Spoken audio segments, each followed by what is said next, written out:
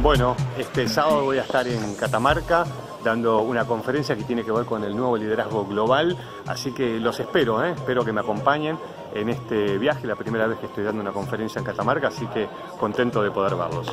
Los espero, nos vemos. Chao.